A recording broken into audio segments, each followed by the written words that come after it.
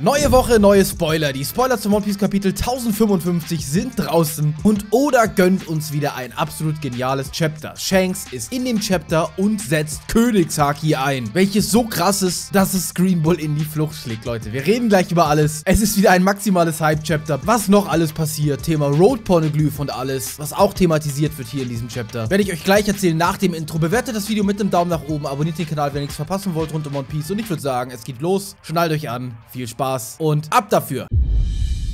One Piece Theoretiker, One Piece Theorien und mehr.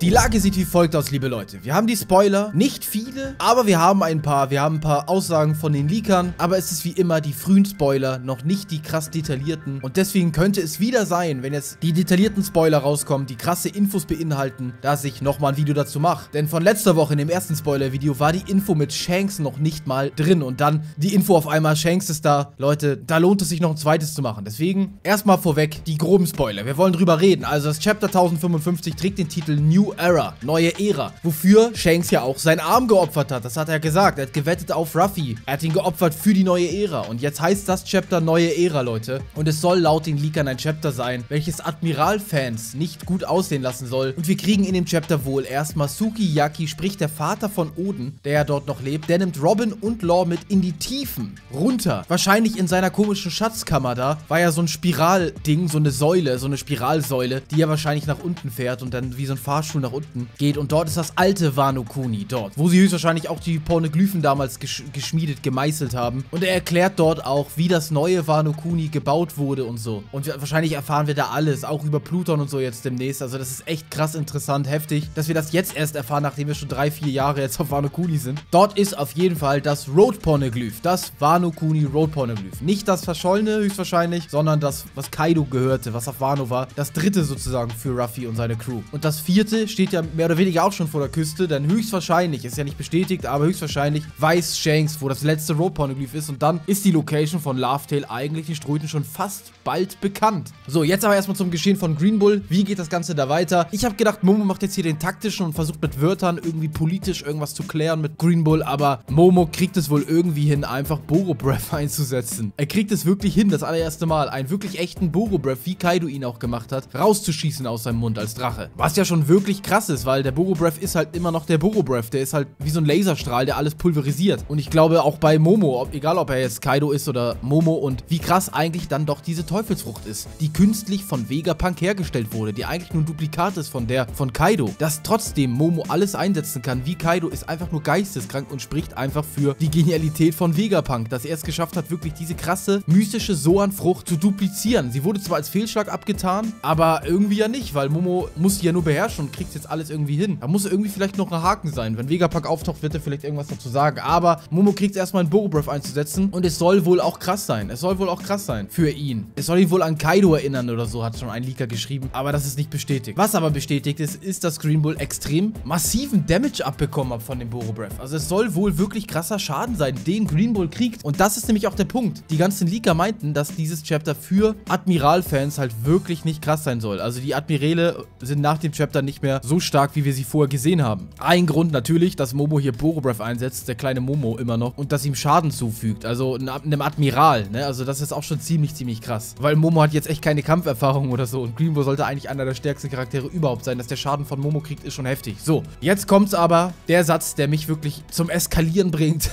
Green Bull gibt auf, nachdem er das Königshaki von Shanks wahrnimmt. Nachdem er realisiert, die Rothaar-Piraten sind auch hier. Nachdem er das gecheckt hat, zieht er sofort durch. Was natürlich wieder dafür spricht, okay, Admirale sind ein Haufen Scheiße gegen jetzt einem echten Kaiser. Oder einem Alteingesessenen. Oder Shanks zumindest. Es ist auf jeden Fall geisteskrank, dass Bull sofort einen Rückzieher macht, sobald er Shanks nur spürt. Und es sollen wohl auch Leute auf Wano wie Ruffy, Kid und Law die Anwesenheit von Shanks spüren, Leute. Die spüren diesen fucking Königshaki-Auftritt von Shanks. Also Shanks kommt wirklich an, wie bei Whitebeard damals, und rasselt mit den Ketten. Genauso wie es gesagt wurde. Er macht es wieder. Er kommt an, haut einmal einen Königshaki Haki, Stoß raus in die Welt und alle wissen sofort, okay, er ist da, zieht durch. Genauso wie auch in Film Red. Dort war ja auch der Fall, dass er es auch eingesetzt hat, dass Königshaki und Kizaru und Fujitora durchgezogen sind und das genau hat Oda jetzt hier in diesem Chapter jetzt auch nochmal demonstriert, so dass die Film Red Zuschauer nicht irgendwie krasseren Kontext haben. Es gibt aber eine Info aus Film Red, die ich gestern bekommen habe und zwar will ich jetzt nicht zu viel spoilern, aber Shanks wurde als Baby von der Gold Roger Piratenbande gefunden, was eine krasse Information ist, denn das stützt wieder mal die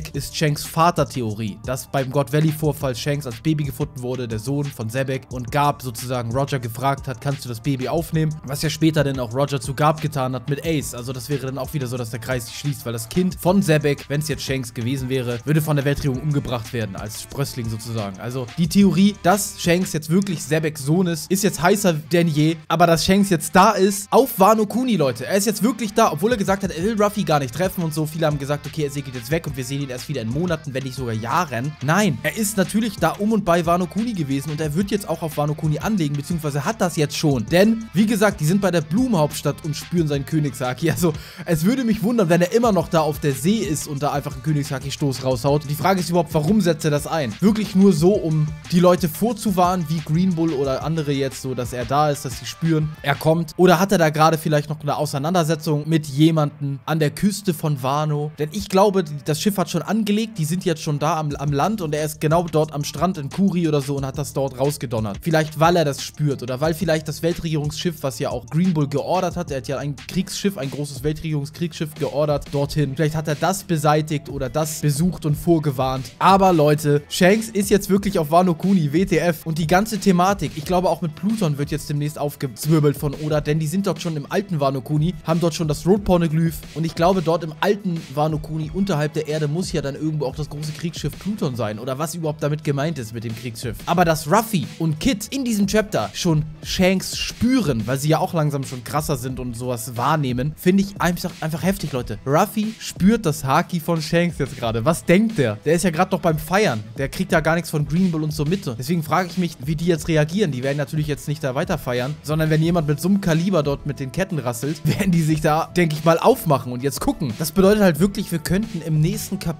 oder so das Aufeinandertreffen von Shanks und Ruffy haben. Theoretisch. Es könnte sein. Shanks ist da, Green Bull ist jetzt durchgezogen, also die Gefahr. Leute, und wie krass ist es eigentlich? Wir haben es ja schon angenommen. Wir haben es ja schon in Videos und in Streams immer besprochen. Es könnte sein, wie krass wäre das, wenn Shanks auftaucht und Green Bull jetzt vertreibt. Und Leute, genau das ist einfach passiert. Ich kann es immer noch nicht glauben. Es ist sowas von geisteskrank. Wir haben Shanks seit 25 Jahren nicht im Geschehen gehabt und jetzt kommt er an. Es ist sowas von geil, Leute. Ich bin so hyped und bin echt gespannt, was in dem Kapitel noch passiert, weil die Spoiler, die jetzt hier vorliegen, sind halt nur Momo benutzt Borobreath, Sukiyaki bringt Law und Robin darunter zu dem Road Pornoglyph und Green Bull spürt das Königshaki von Shanks. Aber es muss ja viel mehr Kontext kommen und ich bin gespannt, ob wir Shanks halt irgendwie auch sehen oder nur die Reaktion von Green Bull. Das wäre halt krass, wenn wir nur die Reaktion von Green Bull sehen auf das Haki und auf von Ruffy und so die Reaktion auf das Haki, aber gar nicht irgendwie Shanks oder so. Ich, ich erwarte halt noch, dass wir irgendwie so vielleicht Tiere sehen, die abhauen oder Vögel oder sowas, die auf einmal wegfliegen halt, weil das so eine krasse Erschütterung ist mit, mit dem Haki. Das erwarte ich noch so. Und eigentlich erwarte ich auch einen Clash. Eigentlich erwarte ich einen Clash zwischen Shanks und jemand krassem. Ob es jetzt Ruffy ist, nur so auf Respekt, rivalitätsmäßig. Er respektiert ja Shanks ohne Ende, aber ich will einfach sehen, dass zwischen Shanks und Ruffy sich der Himmel spaltet, Leute. Genau wie bei Shanks und Whitebeard damals. Das will ich einfach. Ich weiß nicht, ob wir das kriegen, aber so ein Haki-Clash zwischen den beiden nur so, um sich zu messen, wäre einfach absolut geil. Ich würde das absolut feiern. Aber erstmal abwarten, Leute. Erstmal abwarten. Es ist ein maximales Hype-Chapter. Schreibt eure Meinung in die Kommentare. Wie gesagt, es kann sein, dass krassere, detailliertere Spoiler rauskommen, die jetzt über Infos beinhalten. Dass ich nochmal ein zweites Spoiler-Video mache. Ansonsten hören wir uns Freitag bei der Review. Höchstwahrscheinlich Freitag. Es sollen jetzt die Chapter immer später übersetzt werden. Angeblich. Da heißt es auch noch abwarten, wie die Situation jetzt wird. Aber das sind auf jeden Fall krasse Spoiler. Ich habe sie verlinkt. Schreibt eure Meinung in die Kommentare. Ich bin erstmal raus. Wünsche euch einen wunderschönen Tag, liebe Leute. Haut rein. Ciao und tschüss. Euer Theo.